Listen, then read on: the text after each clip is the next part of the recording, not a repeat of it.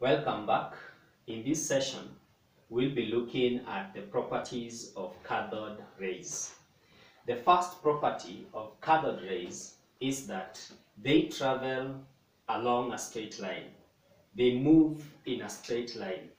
And this can be shown in that if we put an opaque object along the path of these cathode rays, then that opaque object happens to block all the cathode rays and on the screen what we see is a shadow. A shadow is cast of that particular object on the screen and the object we use is a Maltese cross. A Maltese cross is simply a type of a shape with four quadrants which form a cross. Therefore, if we happen to put such an object which is opaque, then they block totally the cathode rays and they are not able to reach the screen. And on the screen, what we see is the shadow of that particular object. That means that when these uh, cathode rays hit the object, they could not take a different path, but they are totally blocked. Therefore, this shows us that these cathode rays move along a straight line. Remember also in rectilinear propagation of light, when you block light, then that light uh, makes a shadow to be formed of the object that has blocked that light. The same thing happens to cathode rays. Therefore, cathode rays move along a straight line. The second property of cathode rays is that when they fall on materials that fluoresce, that is what we call fluorescent materials, then they make such materials to glow. Such materials are going to fluoresce or to glow. Therefore, cathode rays also cause fluorescence in fluorescent materials. A very good example of fluorescent materials is phosphor, and we said phosphor is zinc sulfide. And we found this is the material that we coat the screen of the cathode ray tube with so that when the electrons fall on that screen, they get to, that screen gets to glow. The other property of cathode rays is that they possess energy. We have various forms of energy and we know that electrons have mass. We say that cathodes is simply a stream of fast moving electrons. They are moving from the cathode to the anode. Therefore, as they move because they have mass, then they possess what we call kinetic kinetic energy. And kinetic energy is given by a half the mass of the electrons times the, vol the times the velocity at which the electrons are moving. Therefore, kinetic energy of the cathode rays will be given by a half the mass times the velocity squared.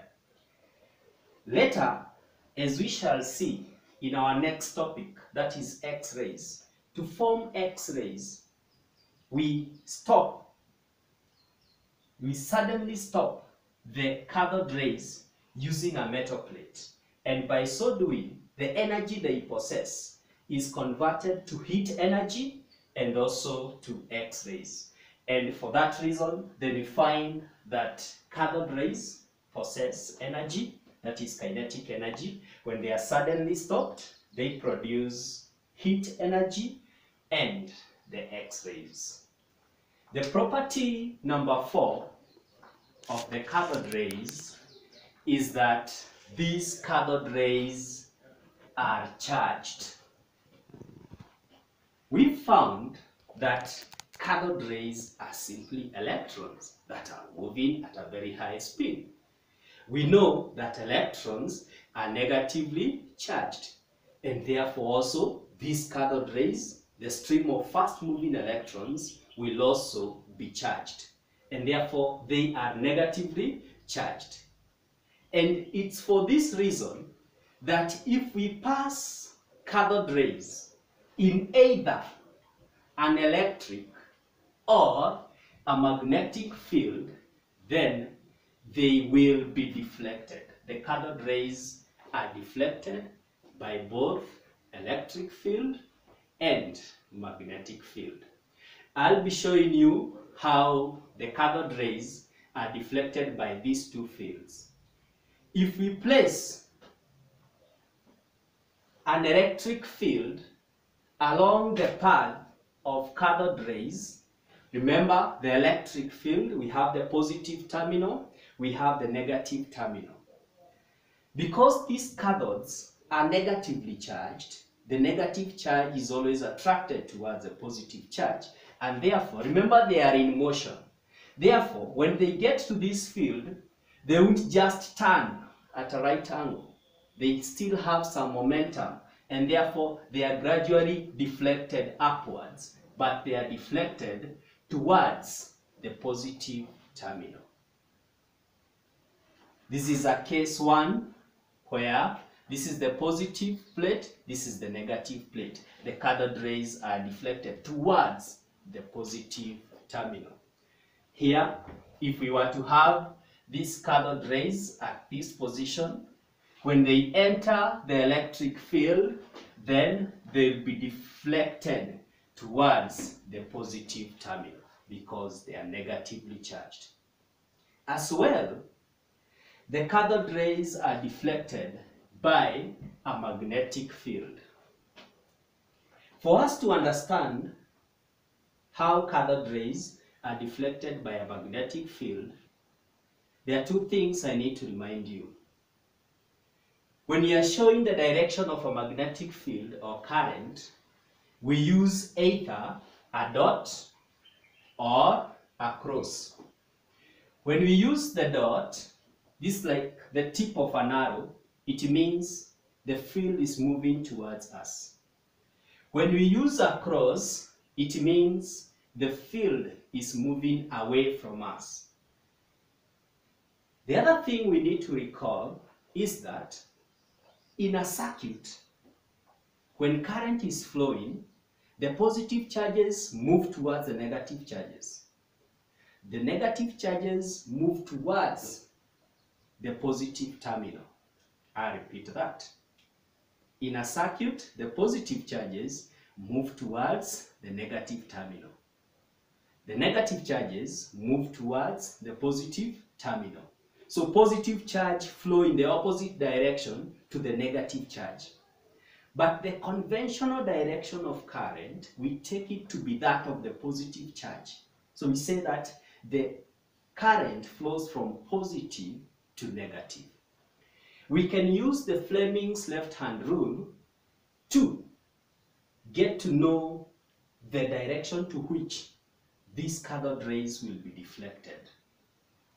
In the Fleming's left-hand rule, which we call the motor rule, which we studied in the topic, uh, the magnetic effect of a current carrying conductor in book 2, we have when we hold the thumb, the first finger, and the second finger of the left hand with the first finger facing the direction of the magnetic field, the second finger facing the direction of current, then the thumb will face the direction of the force.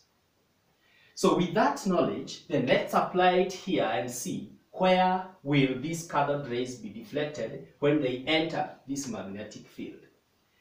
This is our magnetic field.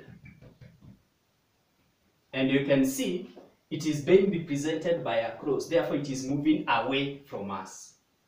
These are the cathode. This is, these are the cathode rays. They are entering the magnetic field. We expect they will be deflected.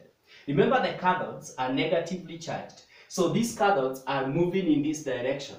Therefore, if we were to denote the direction of current, then it will be in the opposite direction. So where will they be deflected? My left hand. I first open the first finger for the field. Where is the field moving? It is moving away from us. So it is into the board. These cathodes are moving in that direction. Therefore, if it was the positive charge, it will move in the opposite direction. Where is the thumb facing? Downwards.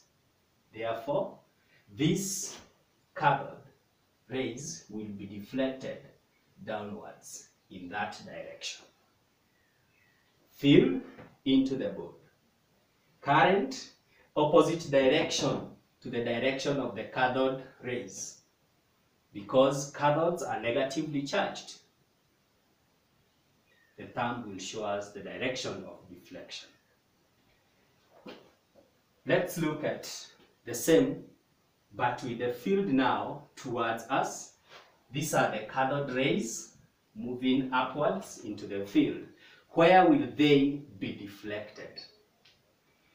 Where is the field moving? The field is moving towards us or out of the whiteboard. So the field out. Where is this current? If this was current, then it will be moving downwards because it is opposite to the direction of the cathode. So the field out of the board. The current downwards, opposite to the direction of the cathodes. Where is the thumb? To the left. Therefore, these cathodes will be, the cathode will be deflected in that direction. So you can use the Fleming's left-hand rule to tell the direction to which the cathode ray will be deflected in a magnetic field. But in an electric field, it will be deflected towards the positive terminal. Those are the properties of the cathode rays. They move in a straight line. When you have an opaque object placed on the path, there will be a shadow formed. They cause fluorescent materials to fluoresce. They possess energy, kinetic energy. When they are suddenly stopped, they are converted. That energy is converted to heat and X-rays. And finally, they are charged and they are negatively charged. They are deflected towards the positive terminal in an electric field and they are also deflected by the magnetic field. In our next session, we'll be looking at the cathode ray oscilloscope. Thank you.